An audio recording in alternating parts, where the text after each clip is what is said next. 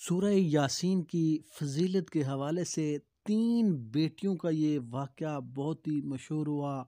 सूरह यासीन ने उनकी ज़िंदगी को बदल दिया। कोयटा से उम्र रसीदा बुज़ुर्ग और साथ उनकी उम्र रसीदा बेटी तशरीफ़ लाई बुज़ुर्ग की सफ़ेद दाढ़ी और बाशरा शक्ल चेहरे पर नूरानियत गुफ्तु का सलीका देखकर मैं मुतासर हुए बगैर न रह सका। उनका अलमिया ये था कि उनकी ते तीन बेटियाँ थी और समझकर अच्छे घरों में उसने ब्याई, लेकिन सितम ज़रीफ़ी ये थी कि तीनों के दामाद कुछ इस अंदाज से पेश आए कि ये शख्स खून के आँसू रोकर रह गया। तीनों दामादों ने बेटियों को बहुत तंग किया। ना उनकी कोई दुआ, न लिबास, न बच्चों की तालीम और तरबियत पर उन्होंने कोई तवज्जो दी, न खाने का सलीका, न घर पर तवज्जो।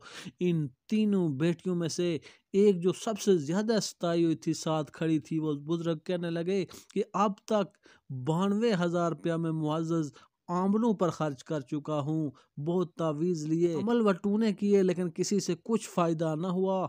मामला रोज़ बरोज़ उलझता ही गया हती कि मेरी इस बेटी के खामंद ने इस बेटी को कह दिया कि वो तो खुद अपने वालद के घर चली जाए, वरना वो धक्के देकर इसे निकाल देगा। वो बुज़ुर्ग रो रो कर दास्तान बयान कर रहे थे। मजीद कहने लगे, ये बेटी इन दो कपड़ों के साथ अकेली तन तनहा मेरे घर आ गई। मेरी एक रिश्तेदार खातून के भाई ने आपका पता दिया है। बहुत मुश्किल से यहाँ पहुँचा हूँ। ट्रेन के लंबे सफ़र ने मेरे बाल बाल को थका दिया है। मैंने इन्हें तसली दिया, दरख्वास्त की। ये सुरह यासीन का ख़ास अमल अपनी तमाम बेटियों को पढ़ने के लिए दें। तीनों बेटियों ये अमल तवज्जो और ध्यान से चालीस दिन या ज़्यादा से ज़्यादा नब्बे दिन ज़रूर पढ़ें। और अगर घर में और अफराद मिलकर पढ़ें, यानी हर शख्स ये अमल करे तो ज़्यादा फ़ायदा होगा। वो बुज़ुर्ग तशरीफ़ ले गए। कोई साल भर के बाद उनका ख़त मिला कि मेरी दो बेटियों ने यह अमल पढ़ा था। एक ने नहीं पढ़ा। जिन दो बेटियों ने अमल पढ़ा था, उनके साथ मामला ठीक हो गया है।